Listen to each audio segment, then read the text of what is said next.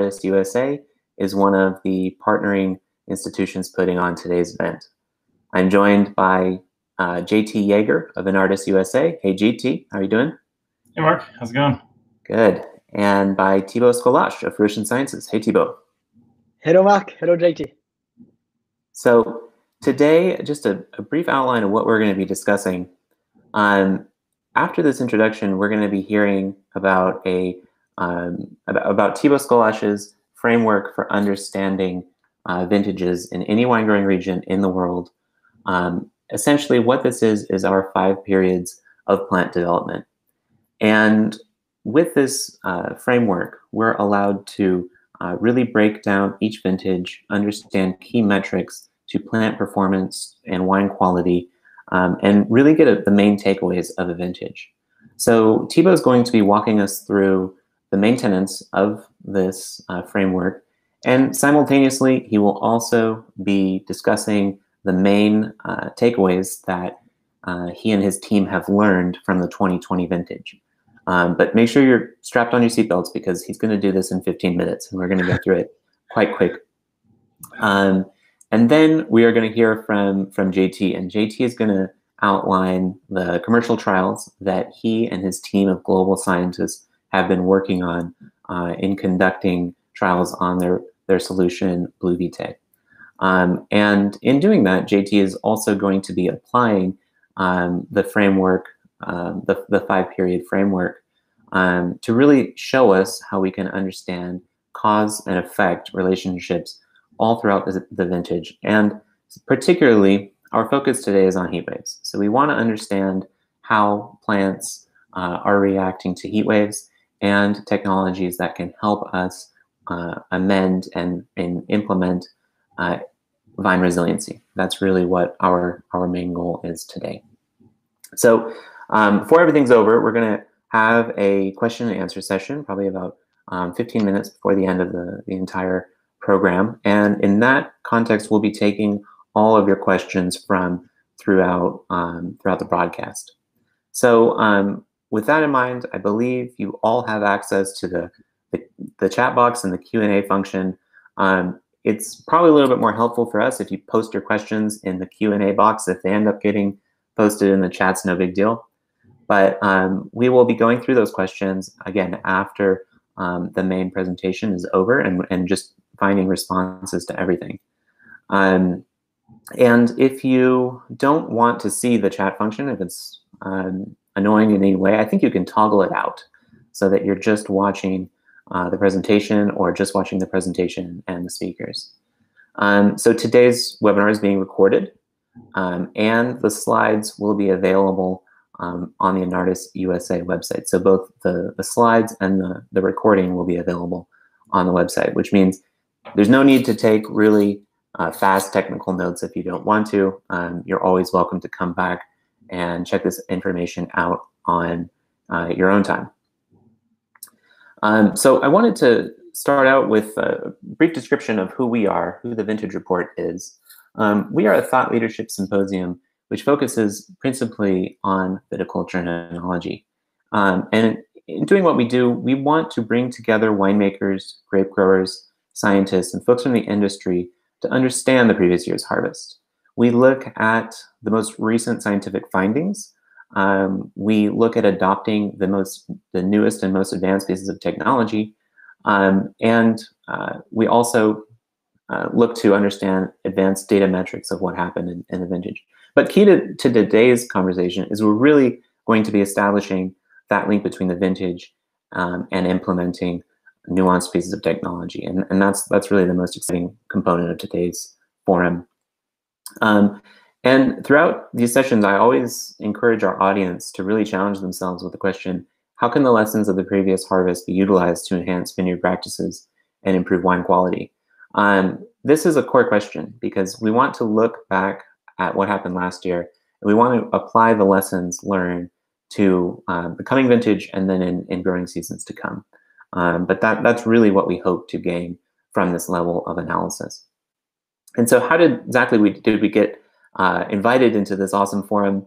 Well, um, the Vintage Report, our understanding really stems from uh, an advanced understanding of uh, vine water use. And that really comes from our parent company, Fruition Sciences, which is a uh, precision agriculture company based out of Montpellier, France. And um, essential to Fruition's business is um, deploying technologies as a service and really understanding um, key plant metrics.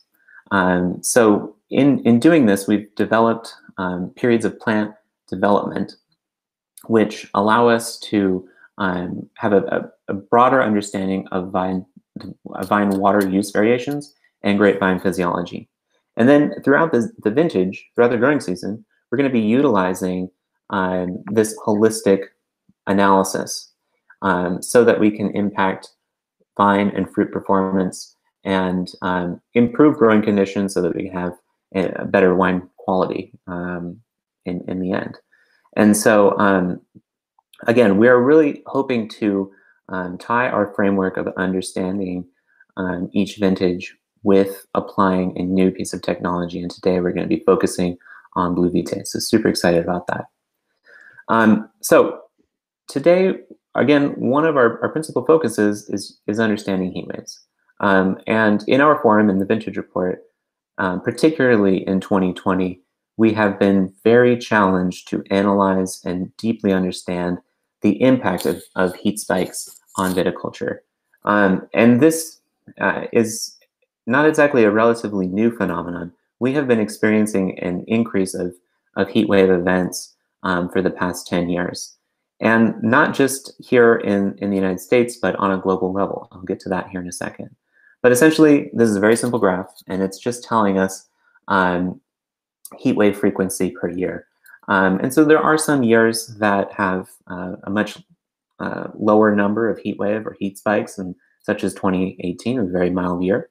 Um, but then there are years where we are seeing um, abnormally high uh, spikes in, in, in heat waves. And 2020 uh, was one of those vintages.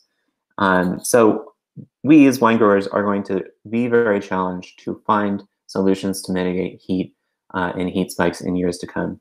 And it's it's our job really to to be able to put to put forward um, these technologies that we can utilize in in the field. Um, but I mentioned we've been seeing this on a global level. We do programs all around the world in three different continents. Um, and a, a, good data set that we have is from Bordeaux. And so I just wanted to share this one with you.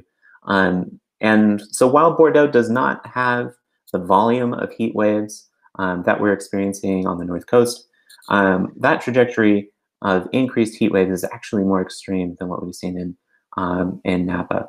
And in fact, that that in, that percentage increase in in Napa from 2011 to 2020 is roughly about 30%. This is 250% what we're looking at.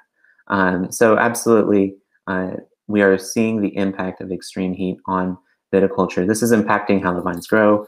Um, this is impacting how wine quality uh, results. And uh, culturally, it's also impacting us quite a bit as well. Um, but again, today we're going to be focused on a piece of technology that's going to allow us to mitigate some of these effects. So um, I'm going to pass it over to you, and I'm going to ask you to outline both your framework for the five periods of analysis and tell us a little bit more about the 2020 vintage. Thanks, Mark. So, um, as Mark pointed out, um, the reason why uh, we are here as a vintage report organizations, it's because we developed a method to analyze changes in vineyard performances in response to climate. But as Mark explained, that same method can be used to analyze changes in vineyard performances in response to a specific treatment.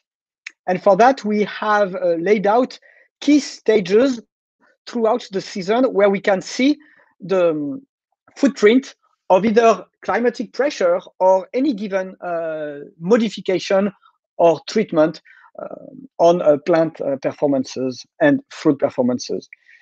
So I'm going to essentially explain how this analytical framework can be used to assess the impact of BluVite, Blue Vitae treatment. And how am I going to do that? I'm going to do that by first segmenting the season into five uh, different periods. The first period is the vegetative rest that ends with a bud break. And then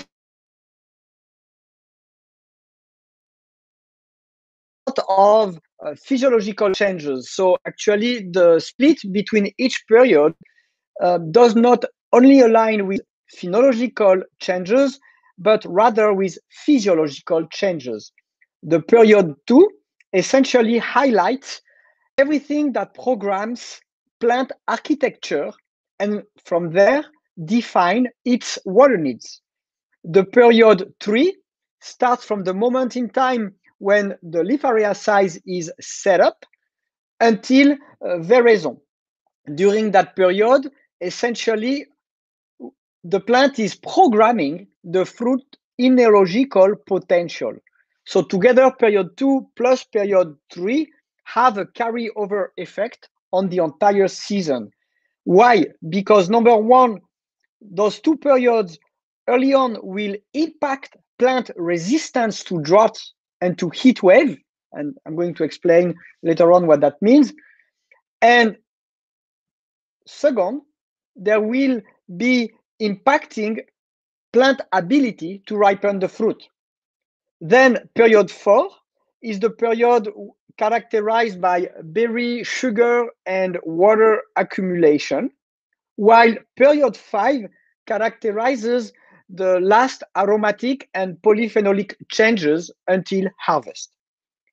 So when we started to conceive this talk, the whole idea was, okay, how can we use this analytical framework to validate the impact of a root-based treatment on plant performances through each of those five periods?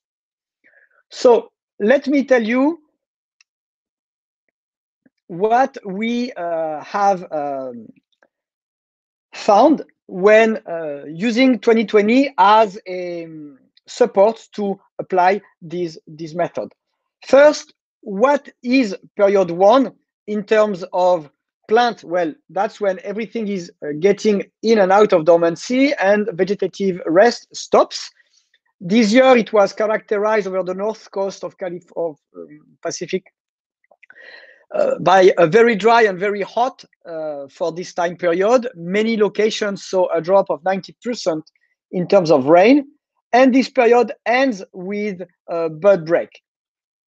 What's interesting to see, so from left to right, you see the last three vintages, and you see this marked decline in terms of cumulated rain. And for now, that's all what I'm going to say. Period two is next and starts with bud break. Period two is very important because it characterizes active leaf area growth. It sees bloom, and depending upon the level of vegetative development, it can go up until almost veraison. But what's important is that at the end of period two, canopy size is set and in terms of uh, climatic footprint, in 2020, P2 had a high drought index and a high heat accumulation. So the drought index is just a way to monitor how much water demand there is from the atmosphere versus how much water supply there is from, from the rain or from your irrigation, but here from the rain. When we look at period two, how can we segment it as a mean to assess the impact of here a treatment. Well, if the treatment is applied by the end of period one, then we have two key stages where we can see the footprint of a plant changes. First, at the beginning of period two, we know that that's when the root uptake of minerals is the most active, while the second two thirds of period two is when leaf accumulation of nutrient is the most active. We will see how that uh, applies to our evaluation of uh, the BluVite treatment.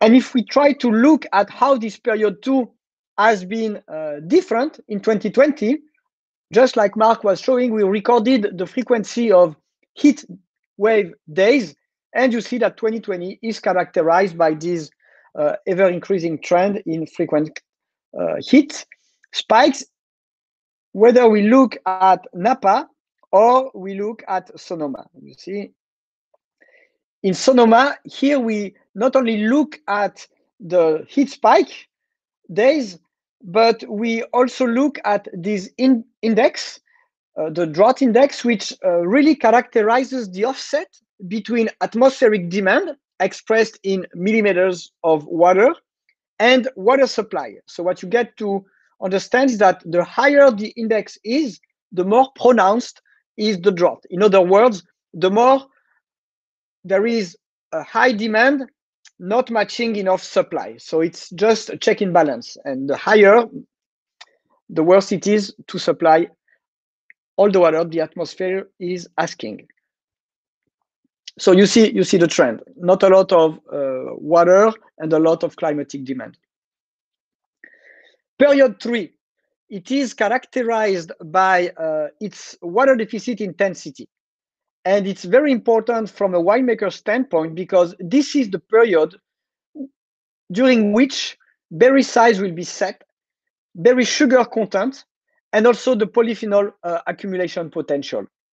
By the end of P3, most of the, the stage is, is set. Then we just need to uh, check that the weather and the practices are basically helping the plant to uh, achieve its potential that has been defined by the end of uh, P3. And in 2020, actually, period three was relatively mild. It started a week earlier, but we observed fewer heat waves. What can we learn from assessing plant indices during uh, period three? Well, you see that it starts with the end of active leaf area growth. So it's a very good moment to make uh, leaf area measurements to assess the level of shoot length, shoot diameter in response to the pre-conditioning of the plants during period two. And it's also the starting point where, because the drought index can be high, we expect that the plant may have to down regulate its water use. So that is why it makes sense to start monitoring plant water use the moment you enter into period three, and you can keep doing that same analysis in period four and five. Another thing you can do during period three is really take a step back regarding how well the plant has performed in terms of accumulating nutrients. You can do it at the end of period two, and you can double check your results in terms of uh, nutrient accumulation uh, right at the end of period three, that is when veraison kicks in.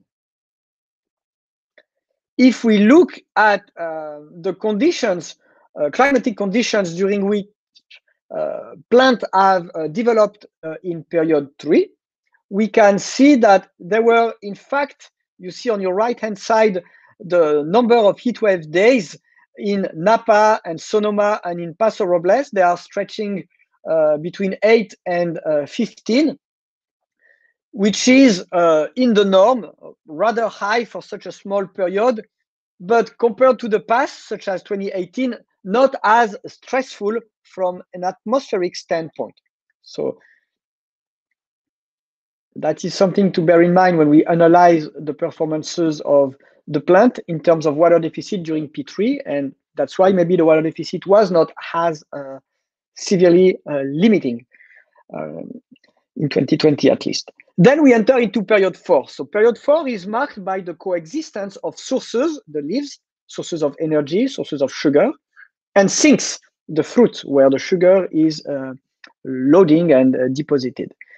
So P4 characterizes the period from start to end of active sugar loading. This has to be uh, really emphasized. We are talking about active loading of sugar inside the berry, which is something different from uh, sugar concentration, which um, is not directly uh, related to active sugar uh, loading into the berry since uh, berry moisture content can also affect Brix regardless of active sugar loading.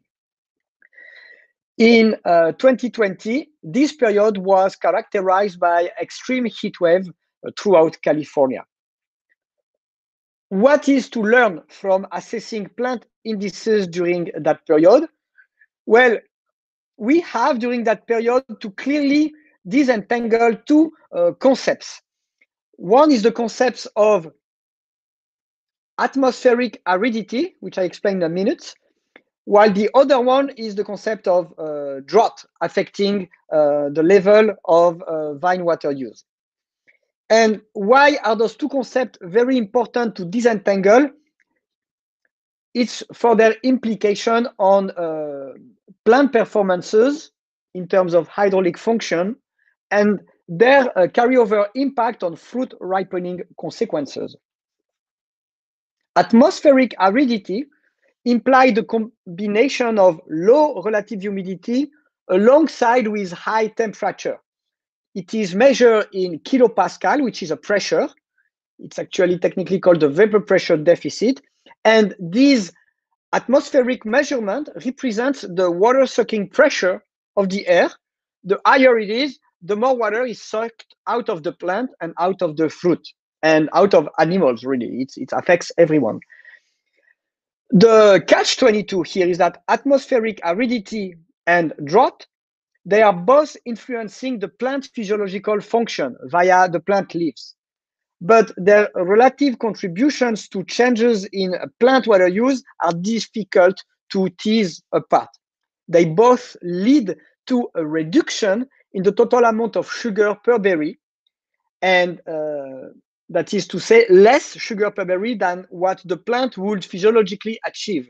So monitoring sugar per berry during P4 is a good way to assess either the impact of climate or the impact of a treatment.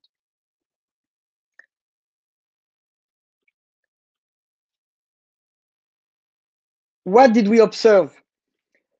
Well, we observe that in response to those heat spike, sugar loading can actually freeze. So in the past, we used to expect uh, the ripening uh, time profile to be slowing down when it was cooler, but in fact, high temperature and heat waves can also lead to the same impact. When you are lucky, if the combination of atmospheric, high atmospheric aridity is not associated with a high level of water stress, you are in what I call a good cases. You only observe in your vineyard a transient sugar loading freeze, which means that your ripening period will stretch out a little bit. And then once the heat wave is over, things get back to normalcy. But in the bad cases, the combination of heat wave and drought leads to irreversible stop in terms of fruit ripening and during those events, there is actually less sugar per berry, which is technically looking like that. So here I have reported just the profile, the time profile that you will be seeing if you were to monitor the amount of sugar per berry. You see the green profile is a good profile where the heat wave is freezing for a moment the, um, active accumulation of sugar. And then once this red period, this heat wave period is over, you see that the plant recovers and fruit ripening kicks back up again.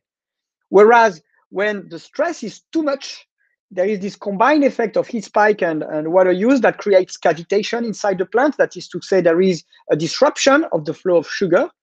You see that even after the heat wave is over, the plant cannot recover.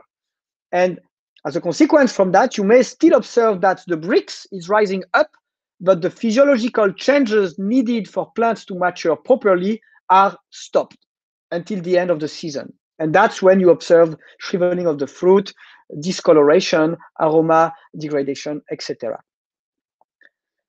So that's what we will be watching during P4. And then during P5, this is really the, the icing on the cake. We really get to the latest part of the maturation. At that stage, the plant is uh, hydraulically buffered uh, from the fruit. And really what happens here is the touch up in terms of uh, color accumulation inside the skin. So P5 is characterized by the peak of color accumulation. And in 2020, we observed the most extreme heat waves, which we know via uh, their temperatures are actually affecting the uh, aroma profile and the color potential.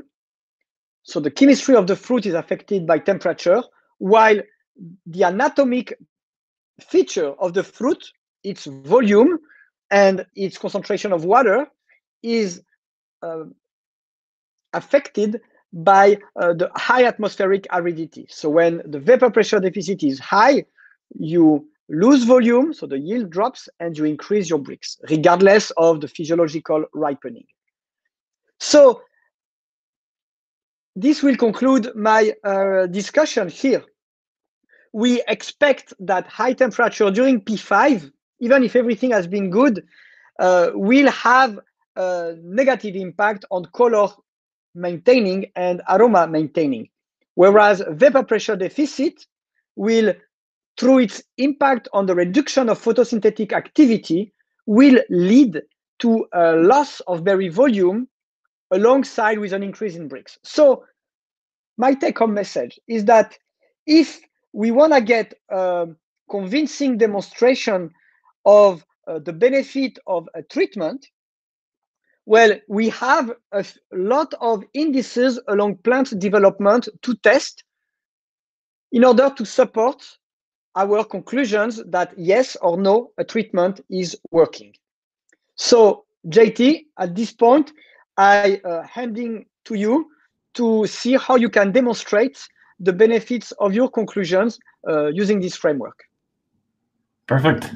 Thanks so much, Thibaut. Appreciate that. Um, yeah, so just uh, moving on from here, I guess um, um, before I jump into the actual uh, trial data and the, and the case studies that we compiled to present to you, uh, I just wanted to give a background as to uh, the group of companies that sort of work together to make the Blue technology uh, work in North America and abroad.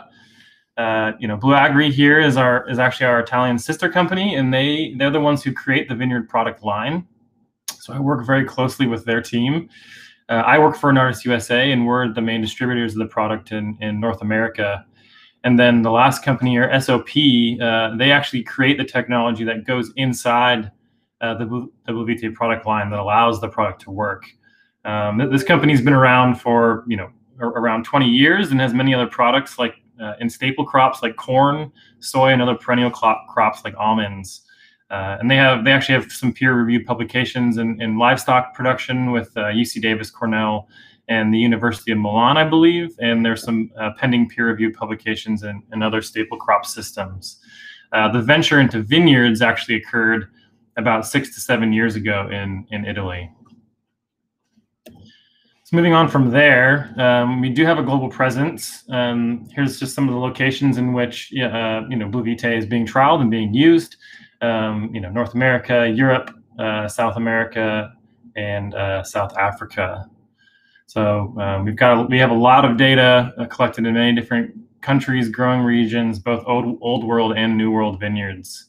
Um, but the, the case studies today, I'm going to go through our, our focus primarily in the North Coast AVA in, in California.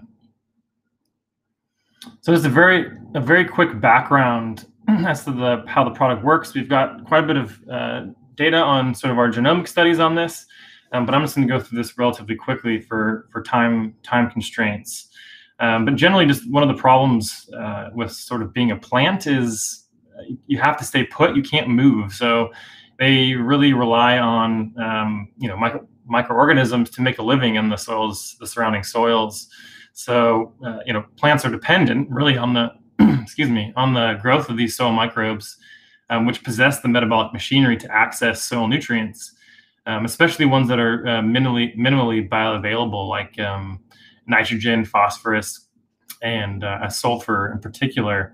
Um, but there, you know, really the, the take-home message here is there's some really complex interactions that take place in the soil between plant roots and, and sort of these root-associated microorganisms.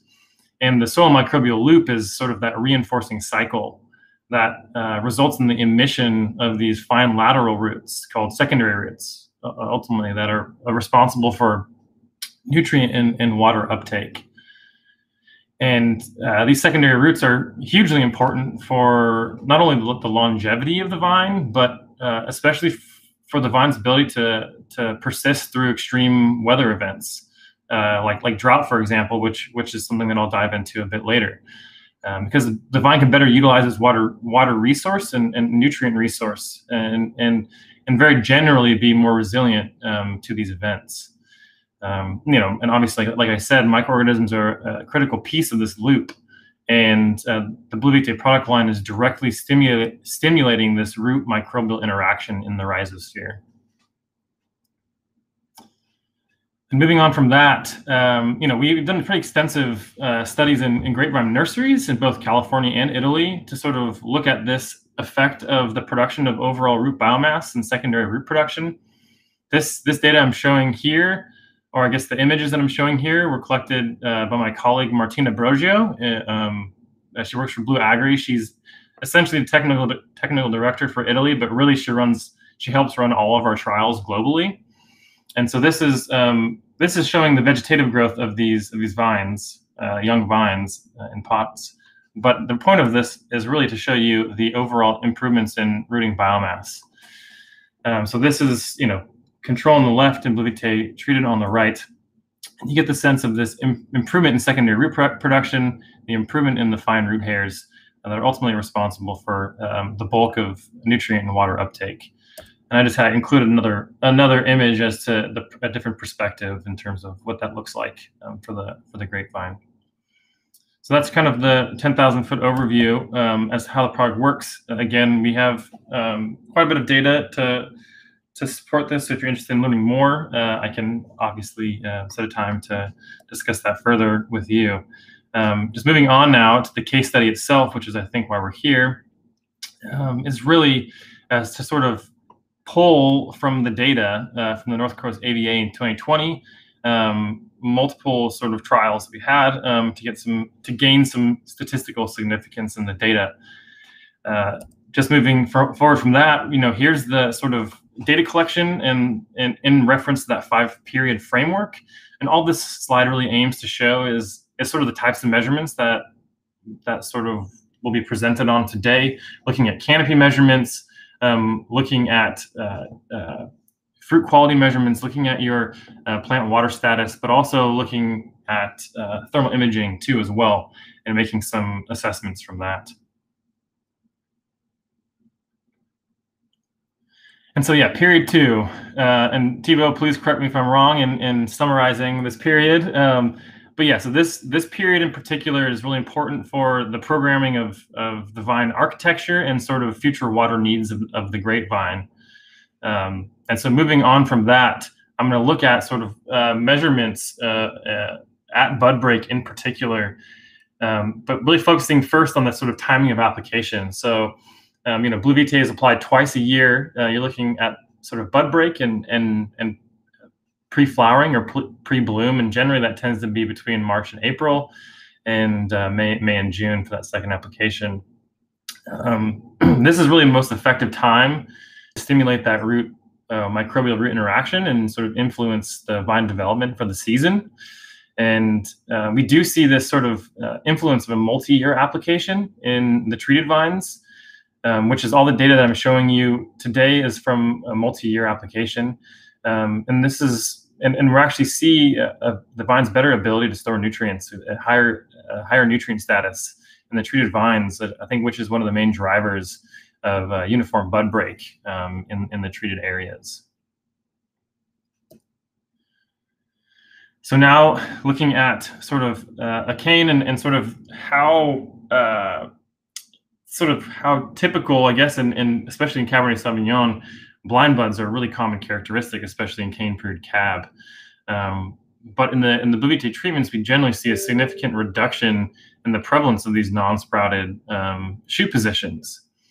And then also, we see uh, more more uniformity of growth of shoots sort of across the cane, um, with less variation between growth at sort of the uh, well the, the head the head and also the distal end of the cane and and those those mid, uh, mid cane uh, positions. And I promise I'll show the data. I just kind of, I think pictures are also impactful. And then just doing a side by side here, I think this really gives you an idea as to the differences between the two treatments. You know, with multiple multiple years of application, we see this we see that this ape this characteristic of apical dominance um, is is far less prevalent in the treated area of the vineyard, and the data does suggest this. So here's all of the shoot length data um, for this particular case study, and this equates to generally a 6.5% increase in average shoot length. The X in each one of these um, boxes, uh, BluVite red being on the right, control on, or I guess BluVite on the left, control on the right. Uh, the X inside of those boxes is the average, and the that line in, in the middle box is the median data point. You can actually see that some of the highest measurements are in the controls. Some of the longest shoots are in the control, but a, there's far more shorter shoot measurements too as well. So you get this sense of a decrease in shoot length variability, which ultimately boosts the average of the shoot lengths across across the vineyard. There's, uh, I think, a more impactful way to look at this data as opposed to just showing all the data on a graph, and that is through a shoot quality designation. Um, so from this chart, I think really the take home is the percentages of, of shoots in terms of the grading parameter. Um, we have you know zero being a non-sprouted shoot or weak shoot position, and then with each subsequent uh, grading parameter moving towards four, we get towards regular growth. And you can see here there's sort of a lower number of and overall percentage of these non-sprouted shoots or weak shoot positions in the treated, and there's also a higher percentage of these well-developed shoots, you know, grading three and above. And so, really, the the purpose of showing this is that there's this increased root biomass and secondary root production that allows for this higher root and shoot functional growth, uh, and that persists sort of, uh, you know, this root shoot functional equilibrium that persists into later in the season. And I will show that data as well. Um, you know, and, and ultimately we see that the, the vine has the potential for improved ability for utilization of the soil nutrient and water resource um, with a more uniformly developed canopy as well. So just moving on from that, going to move on to sort of period two and three. And again, uh, this is, uh, we, we had measured uh, these certain canopy indexes and certain vine nutritional indi indexes because this is important for uh, peak vine nitrogen demand and when uh, canopy growth maxes out as well. So moving on from that looking at a similar picture here between uh, the two the two treatments, and this is kind of showing uh, you know higher this higher functional equilibrium between root and shoot growth, um, allowing for that average to be moved upwards. We're not causing excessive growth in the treated. Um, in fact, a lot of the longest shoots occur in the control vines, but we're bringing up this this functional average. Um, you know, and this includes really includes mechanisms that control sort of the distribution of photosynthates to the different sinks, which are you know the shoots, roots, and fruit, um, which is what we'll we'll discuss a bit more later on the presentation. Um, but really, this has implications for overall vine balance. Um, you know, it has implications for the vine's capacity to sort of fix carbohydrates, uh, which you know are cr created during photosynthesis, and sort of accumulate these nutrients for growth. Um, and ultimately, these these these fixed uh, photosynthetic compounds are critical for future ripening um, and also has implications for fruit quality and yields as well. So here's all the data again. I'm not sure how impactful this, this, all showing all the data is, but I think it's just important to as a talking point. Um, this the average comparison of the average, a 28.6% increase in average shoot length. And if you don't look closely, enough, you might just assume that we're making the vines more vigorous. Um, this is not the case. It's not due to this excess vigor. Um, it's really due to this general decrease in shoot length variability um, compared to the control. Uh, we actually see a smaller standard deviation in terms of the, the measurements uh, in the treated area. Um, we sort of see this consistent decrease in shoot length variability. Um, and ultimately, you saw this begins with bud break, and that shifts that overall average canopy size upward. We have far less shorter, thinner shoots. I'm only showing shoot length. We also measure shoot shoot diameter in all of our um, all of our uh, vineyard trials, and so we have we see this general shift upwards um, in, in all of our canopy measurements. So then moving on from there, we did the same shoot quality designation. I just want to bring your attention first and foremost to the blind buds, the zero percentages on the graph. Um, the, the threshold that was established between the client, um, client viticulture team and myself was, I believe, um, a non-sprouting bud up to 10 centimeters, which I believe is, my conversion is, is, is kind of bad, but I think it's around three inches um, in length, and the, it wasn't a fruiting uh, a fruiting position. So, um, but then breaking that down into what that means in terms of uh, blind buds uh, is about 1.8 blind buds per vine in the treated versus about 3.2 blind buds per vine in the control. Um, so nearly half as many. And then you can get an idea, sort of a higher percentage of well-developed shoots, grading of three and above uh, in the treated. And so I think with this final piece of of canopy measurement, this gives a clear indication of sort of uh, not only more uniform uh, bud break, but has or uniform uh, canopy growth, bud, bud break and canopy growth, but uh, has implications for more efficient vine in terms of transpiration and stomatal conductance, not only within a vine, but also between vines, because this is not just measurements from a single vine. Um, you know, and then obviously that has huge implications for drought stress later on in the season and also potential for thermoregulation uh, of the canopy or cooling effect. So I'll show these, these bits of data as well later on. So now looking at um, yeah, leaf chlorophyll or, or uh, leaf N content, nitrogen content, we use a chlorophyll meter. Um, these are actually widely used to guide nitrogen management by monitoring um, leaf nitrogen status uh, most of this work is done in staple crops uh, like corn, um, but there are quite a few publications that look at SPAD values uh, in sort of viticulture, and they're significantly they're significantly correlated to leaf N, not only leaf N though, but also to leaf um, uh, phosphorus levels as well. Um, and we mo- we monitor this at both bloom and veraison when you normally measure petiole analyses uh, as well, and we do have petiole analyses for certain clients. Um, but the, the, leaf nitrogen or the SPAD meter is, is kind of more quick method of measuring this sort of real time. Um, but we measure it at bloom and veraison because this is approximately when you know 40% of nitrogen use in the grapevine occurs, uh, essentially from you know fruit set to berry softening is during that window. So before and after uh, we took these measurements. Um, and sort of, sort of similar, what we see in the physical canopy measurements is is more uniform average leaf chlorophyll content, um, and this can be directly correlated to higher leaf nitrogen content at a stage when uh, you know nitrogen is nitrogen use is at its highest, really in the grapevine, um, you know, fruit set through through lag phase.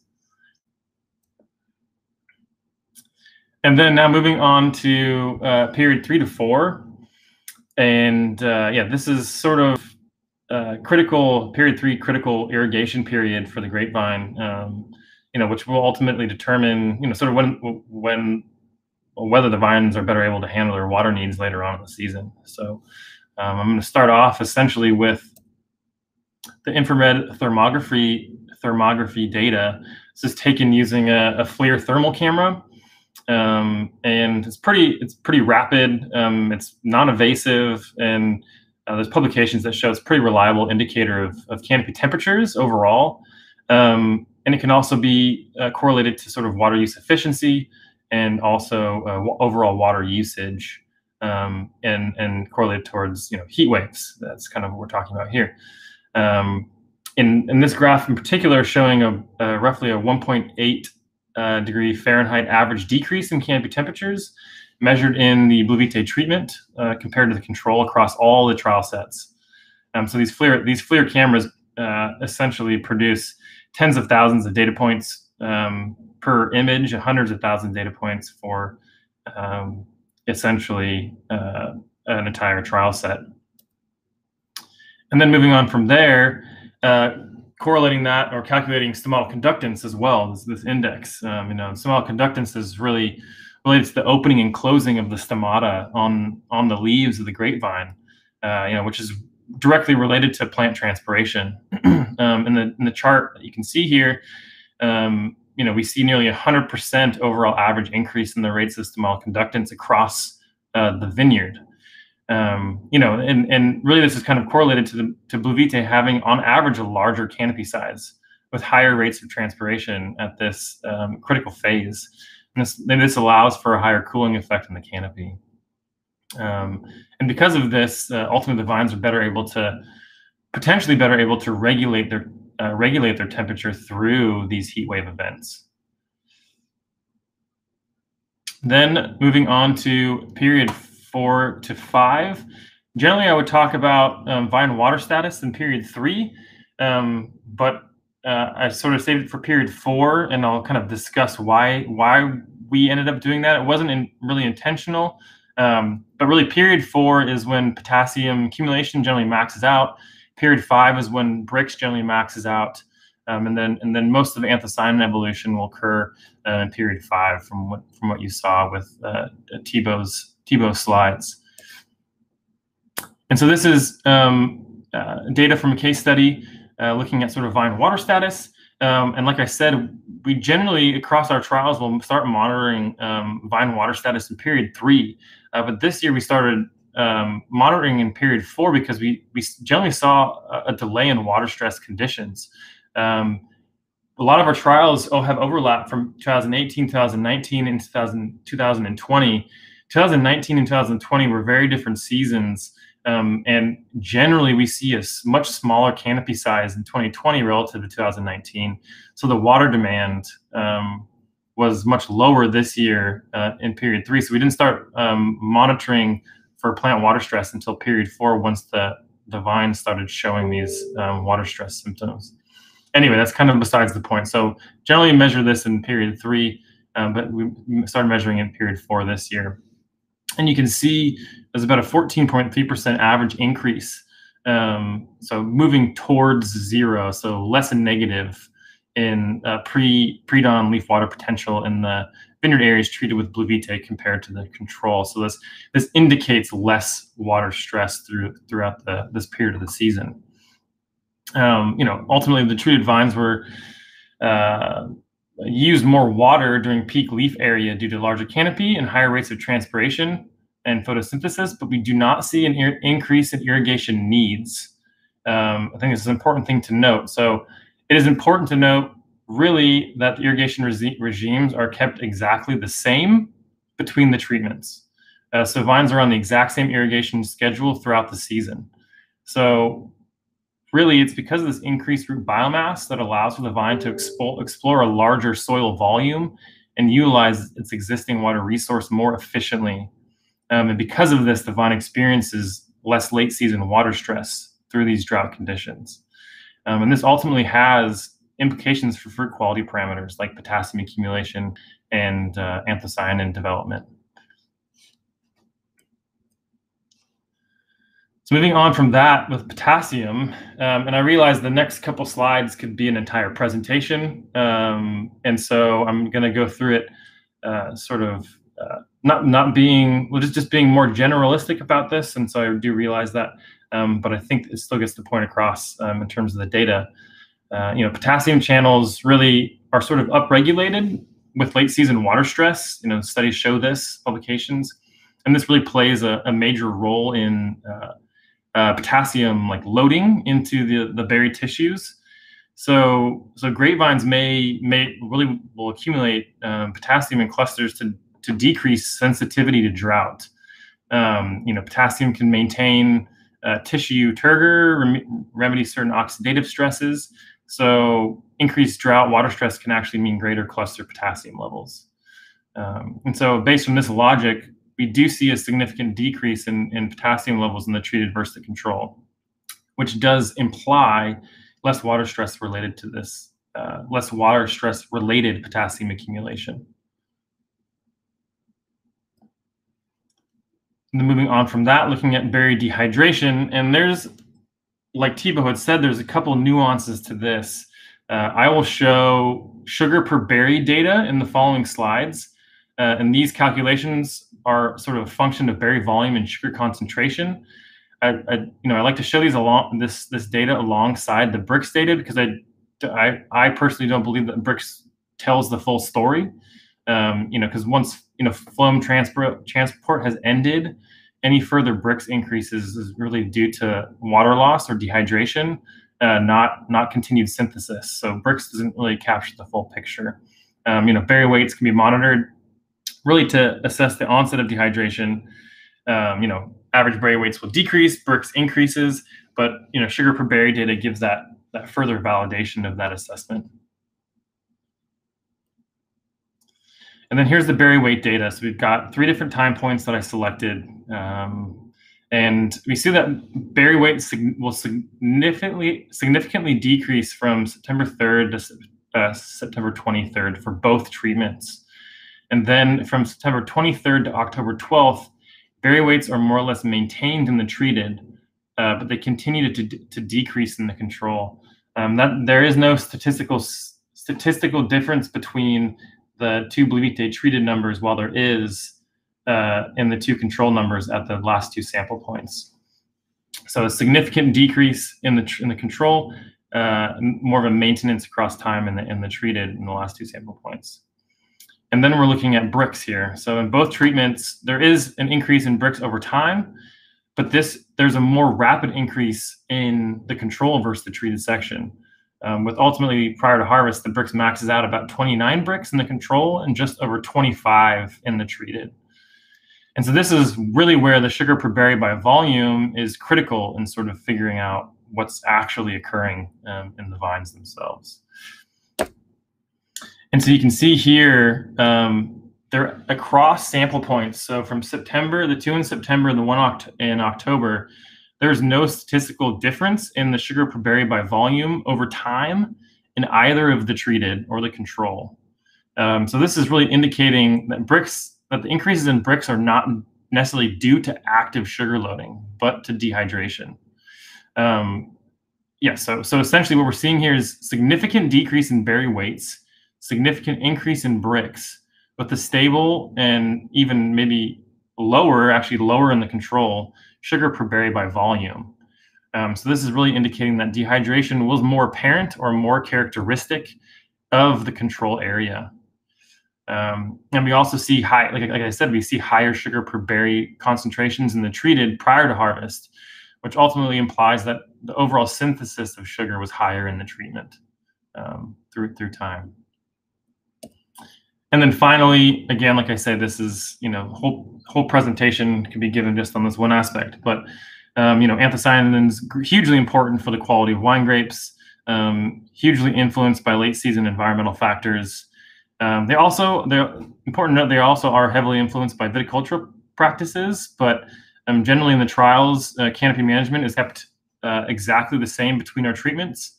So that's just removing one variable here. But generally we see that uh, the treated area, uh, anthocyanin evolution occurred uh, early on uh, and levels were sort of maintained over time.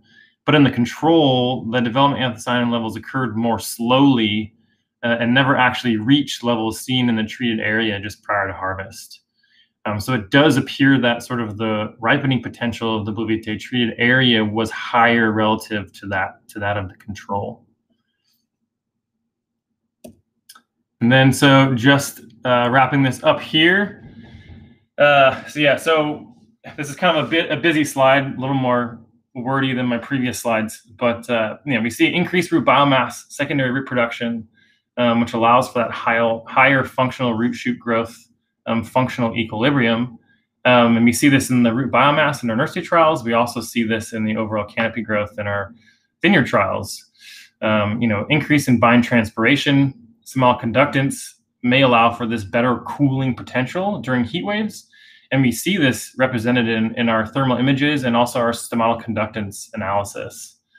And there is, again, like I know, there is this potential for the vine to use more water due to this generally quote unquote larger canopy because of this higher rate of transpiration.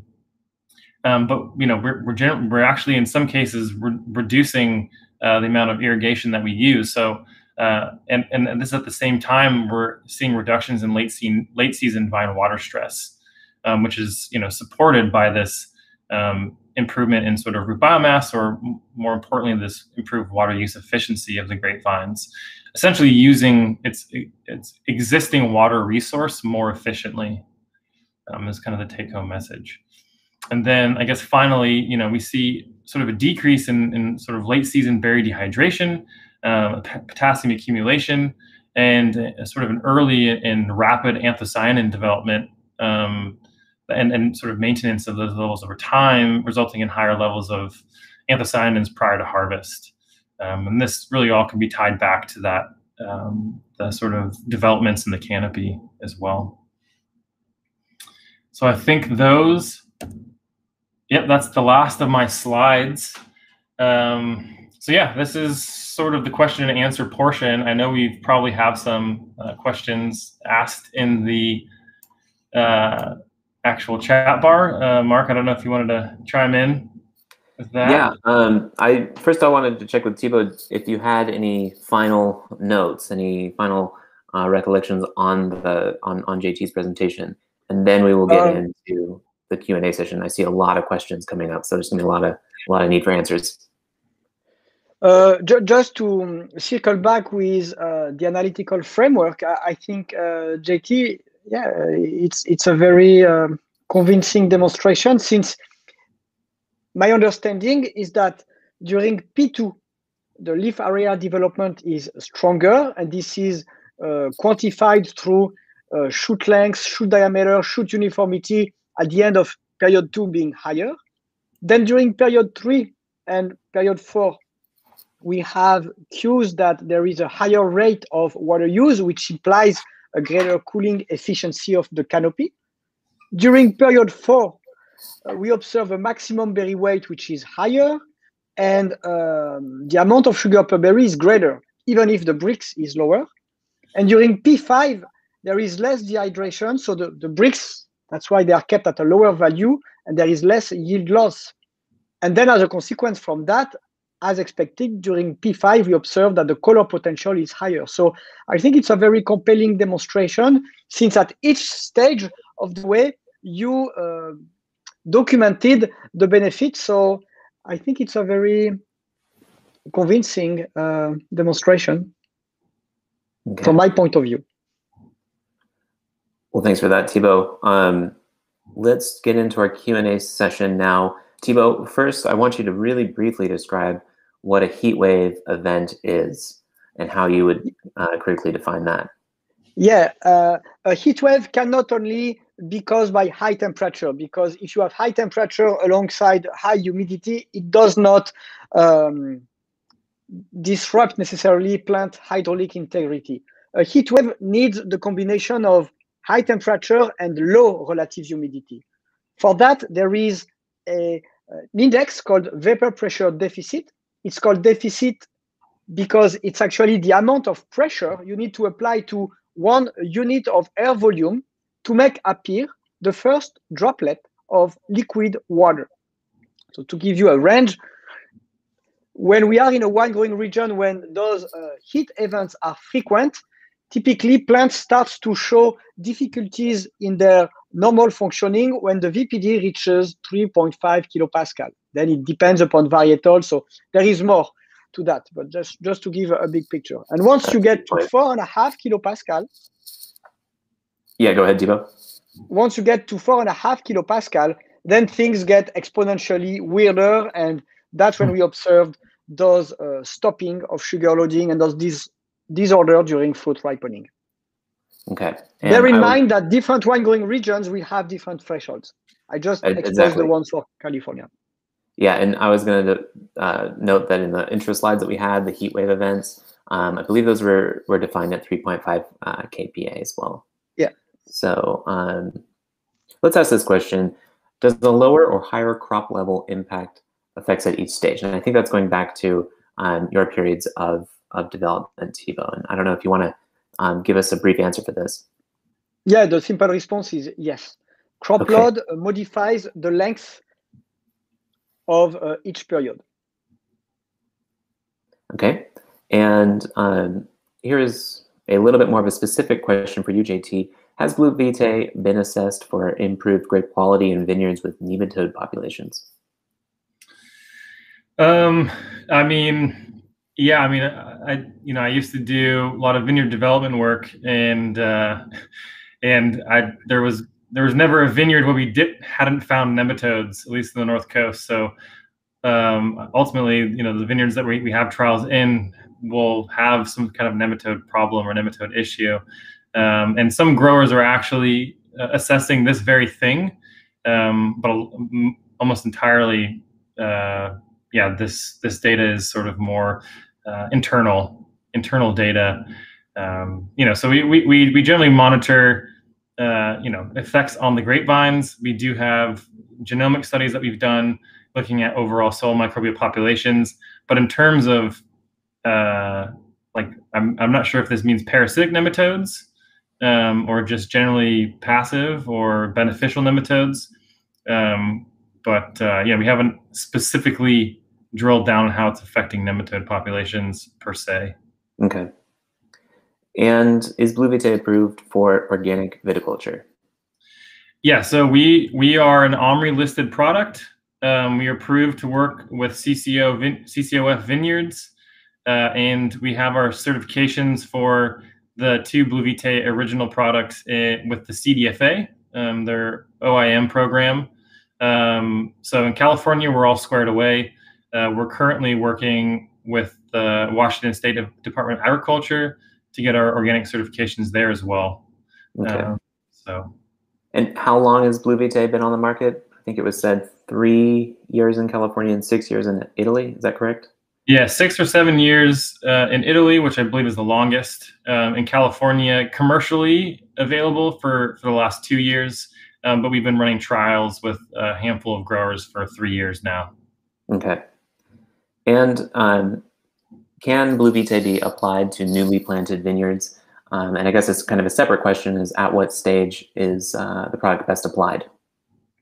Yeah, so uh, I say about 25% of all the people who use BluVite um, apply it to, well, I guess in California at least, uh, to newly planted vineyards. So this is one strategy to sort of increase overall rooting biomass of, of an early, of a, of a young vineyard.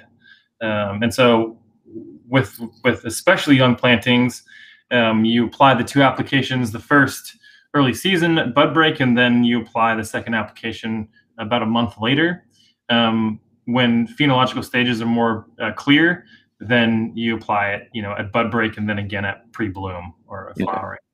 Yeah. And Thibaut, correct if I'm wrong, but that would be basically period two of your framework, and then going into probably period three as well. Yeah. Yes. Okay. All right. So how is BluVite applied? Does it run through a drip line?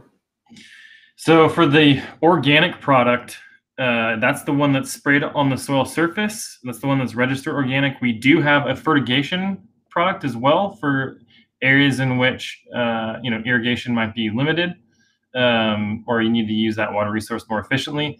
Um, we're in the process of getting that organically certified as well. Um, but yeah, there are two products. There's one called BluVite and BluVite Red. That's the original. That's um, sprayed on the soil surface um, with certain volume of water. And then there's the BluVite Easy, which is fertigation. Um, so that's the one that's fertigatable. So yeah, we, we do have two products. Okay, cool. And here's a couple of global distribution questions. Um, but who distributes BluVite locally? Uh, so locally is Enartis USA. So uh, North America. So um, you know, United States, Mexico, Canada. That would be Enartis USA. Um, in Italy, that would be BluAgri, who's essentially the, the founders of this, basically the ones who created this product. Okay. Uh, and does it have to be ordered directly? Uh, you can, yeah, you can order it. We, we have a bunch of local sales reps. You can actually order on our on our online website. Um, we have, if you need to place an order, you can also contact BluVite at enartis.com. That's you can also order it directly from that um, that email address. So there's, there's a bunch of different ways. Um, but uh, yeah, just you can reach out to me or Enartis USA's team, and we can handle that for you.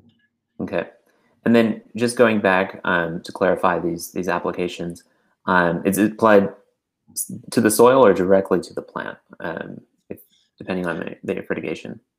Yeah, yeah. So it's It's applied to the soil, so it's not a foliar application. Okay. And how much do you think is typically applied? Uh, well, for the easy product, it's about um, four four kilograms. The easy is the fertigation product, four kilograms per hectare um, per application. Uh, and for acres, it's about 3.5 pounds per application per acre. Uh, and then for the uh, traditional product, it's 18 kilograms per hectare or uh, 16.5 pounds um, per uh, per per acre um, per application. Yeah. Cool. Okay, and um, you did really cover this pretty well, I thought, through the presentation. But I, I just wanted to see if there's any follow-up comment to Mauricio's um, question, which is, do you have any evidence of how Blue, BluVite improves berry quality in terms of phenolics uh, or anthocyanins? Yeah, so we've got you know, pretty extensive data, especially with some of our longer standing trials, the three-year trials, um, three-year trial collaborators, and we we've monitored um, uh, phenolic fingerprint, uh, phenolic fingerprint panel um, all three years to track the improvements in quality. Um, so we have a, a, massive data set on this um, from all of our trials that we run. And we and, and I've actually anonymized quite a bit of that data. And and when we give presentations to clients who are interested in using the product, I include a lot of that data. So um, yeah, we absolutely have that, that that data, and we have a lot a lot of it, a lot more of it than I showed today. Yeah, and I think that's part of the cool cool thing about today's collaboration is that um, there are three years of this study going live, so there's a there's a lot to review, and it, it's probably pretty nuanced. Um, but we did sort of just get to the tip of the iceberg in terms of answering this question. Yeah, exactly. Um, so, does BluVite uh, provide these improvements in years without heat waves, um, or is a is this a specific treat wave uh, treatment for heat wave vintages? Um, no, no. I mean, so I mean, last year was not anywhere near in terms of sort of the the the, the sort of things that were important or prevalent for the season. When we talked about Blue in previous years, it was really about the ability to boost certain quality parameters um, in the fruit, independent of heat waves. Um, this year, we've kind of pivoted because heat waves are so have been so critical um, in terms of how grapes are farmed and also drought too as well. And so we've sort of started talking about our trials and really focusing in on the effects of heat waves and drought in terms of our trials. Um, but you know, years previous, we didn't even really talk about heat waves um, in terms of how the product is um, being being discussed and how the data is being presented. Yeah. Okay. Um, and here's an awesome question from Russell. I'm going to paraphrase it a little bit and just see if um, if you can tell me, JT, how the wines turned out from from these trials. Is, is that ongoing? Do you know anything about that? Yeah, we we've got we've had wines made uh, from the different treatments dozens of times. Um, we actually poured uh, Daniel Dow Dow Winery. We actually poured his uh, trial wine at the Win Expo in Santa Rosa. Um, our CEO Jose Santos um, actually did a panel on climate change um, when we could all still meet in person. I think 2019 or early 2020 that was. Um, we actually poured that wine, uh, and there's some pretty stark differences, and that was a second year of application, um, especially in terms of tannin structure, especially in terms of overall color of the wines. Um, they were just different wines um, ultimately. Okay um, yeah, it'd be really exciting to see more of that as it kind of rolls out and, and the wines are released. Mm-hmm. Um, and JT, I assume that you would be able to provide somebody who contacted you with, with a reference, right? Um, whether it's in yeah, Napa or elsewhere. Yeah, I mean, there's there's a handful of clients that have already um, have already pre-approved, um, you know, whatever discussions with other growers if they want to talk about BluVite without an artist, um, sort of through the lens of our trials. So there's, there's we have plenty of contacts, especially in, in Napa Valley um, and Sonoma, Sonoma as well. Um, okay. Probably our biggest uh, presences. Cool. And um, in terms of correlation between BluVite application um, and and water use for folks who have a limited supply of water, um, it, this seems like it's probably a whole other webinar. But uh, do you want to kind of allude to what you would, how, how you would respond to this question? Yeah. So yeah, this is a pretty complex um, yeah, complex question, but generally we see uh, less water stress in our trials, whatever that, whether that's um, leaf water potential, stem water potential, you know, whatever the client uses to monitor water stress. Um, you know, we we measure that stuff, and generally we see less less of that um, in our, our trials. Keeping that in mind, when we do trials, we do not mess with the irrigation regime. We don't mess with the irrigation schedule. We want to make sure there's not there's the only variable is the product application. Um, so ultimately, we see improvements in water status without uh, increases in irrigation. Um, so this has the implication that the, the vine is uh, utilizing its water resource more efficiently because um, we're not adding more. You know, we're seeing improvements in canopy growth. Um, we're seeing improvements in certain ripening quality parameters, but we're not seeing the need for higher water inputs. So this has the application. We uh, in a couple of our trials, we do have soil moisture probes we looked at. Um, so, and obviously that data isn't necessarily available to present on, but these are the types of things that growers use to, to look at that as well. Okay. And I see another um, related question, and, and, that is, would BluVite work on dry farm vineyards um, when no pre precipitation is forecasted? Um, will it saturate to the root level? uh, if it's only sprayed on the topsoil and, and does it need to be irrigated to work properly? It's a good application question. Yeah, no, it's a yeah logistical question. Um, for a lot of our wetter climate um, collaborators, they just use a smaller volume of water because you really only early season you only really want to get it to the first six inches of the soil where the active roots are at that stage. Um, you know, a lot of our growers in in the Central Coast start with um, they don't start with the saturated soil profile, so they have to use a higher volume of water. So it's a difference of between you know 40 40 gallons per acre or 100 gallons per acre in terms of application volume. So it's just that's more of a logistical thing than um, than, than anything else. Okay. And going back to um, wine quality or finished wine, uh, question of finished wine quality, what is the NPK composition of, of BluVite? Actually, yeah, so, so BluVite is um, elemental sulfur, uh, magnesium sulfate, and yeast protein hydrolysates or yeast hydrolysates, which are essentially amino acids. Um, so there's this very small uh, organic nitrogen component. I think it's like 0.3% or 0.03%. It's, it's below a percent. Um, so that gives you an idea. It doesn't significantly add nitrogen to the soil system. Okay. Um, and does the product merely stimulate existing populations of soil microbes, thereby requiring uh, a decent initial population, or does it contain an inoculum for soils that might be lacking? I thought this would probably co-align with with the research you guys have been working on um, in terms of soil microbiology, right?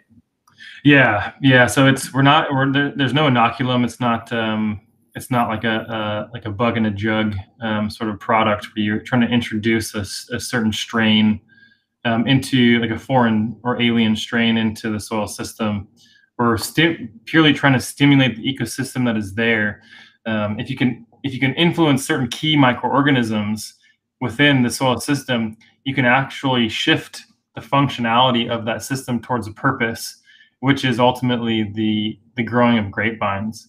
And so that's that's ultimately the the difference between something like this and a compost tea is we're trying to work with with what's already there, whereas a compost tea is trying to introduce something beneficial into the system. Okay.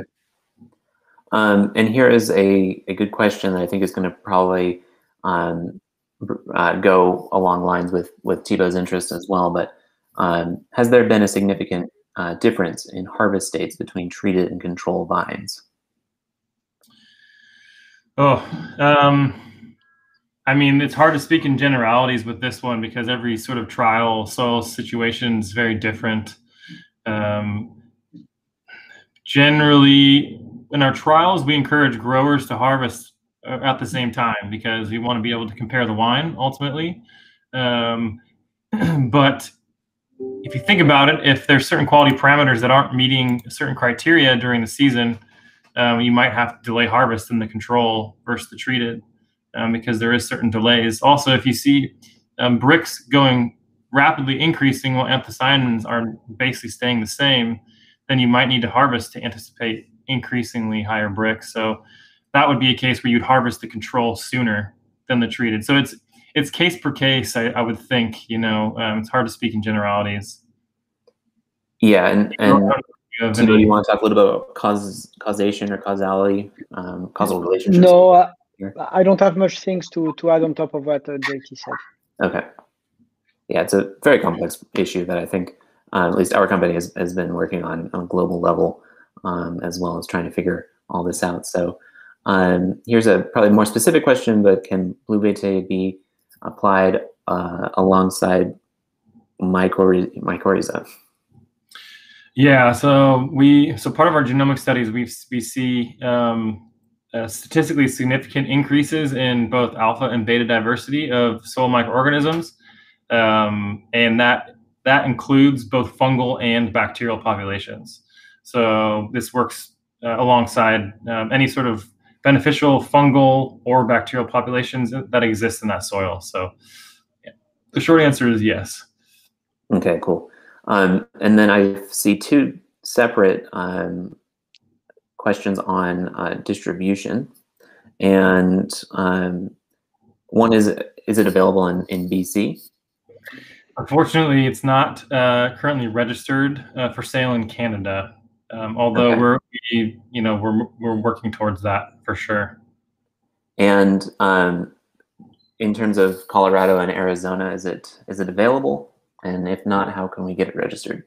Yeah, so that's that's we're working towards that. You know, because it's a uh, it has to be registered with each Department of Agriculture. It's not like a herbicide or a pesticide that just gets registered with the EPA, and then you can kind of clean your hands and say that was that's all we needed. It has to be registered with each state. So as demand increases um, in certain states, is when we'll invest in sort of registering the product in those in those states. Um, uh, Canada is one of our top priorities. Um, Arizona is also one of those priorities as well. So I'm sorry, does uh, Canada for each province is it a separate? Um, for Canada, it's different. I think you can register with the whole country. Okay. Um, individual provinces. Yeah. Okay. Cool. Um, and so, any effects on stem um, lignification or seed hardening? Uh, we I have not collected any data on seed hardening in California. I, I can't speak for BluAgri um, and their Italian trials. Um, yeah, so I can't really speak to that aspect. Um, but looking at lignification of the canes, we have looked at that. Um, improvements in sort of overall lignification of, of the canes at the end of the season. In terms of lignification of the actual rachis, which I maybe think is what they're talking about, um, that's something else we haven't really studied in depth. Um, so yeah, that's kind of the answer to that. Okay, well, I think we have one last question, um, and that is looking at cost per acre. So we get down to that bottom line. yeah, so it's it's uh, just about it's under a hundred dollars uh, per application per acre, and you do two applications per year. So okay. that gives you an idea. Um, there's obviously there's some difference in prices between the two, the fertigation product and the traditionally applied product traditionally applied product is is the one that's sprayed on the soil surface, and that one's a little cheaper because there's the added cost of having to uh, uh, factor in tractor passes and whatnot. So the fertigation product's a little bit more. A little different. Cool. Okay. Well, um, I wanted to thank everyone for their questions and, and posting all the questions either in the Q&A box or the, the public chats. I hope we got to everything. Um, if not, I know that JT and his team are awaiting your questions, um, and I'm sure you can be emailed um, through the through the Enartis website. Um, but yes, and and thank you everyone who joined us. Um, we really appreciate you taking the time to learn with us. And I wanted to thank uh, both Thibaut and JT for your uh, time on putting together these presentations. I thought it went really well. Um, but thank you both. Thanks, Thank you. Thanks so much. All right. Well, thank, thanks everyone once again. We hope to see you next time at one of our events, um, and we will be in, in contact. Thank you. Great. Ciao, ciao.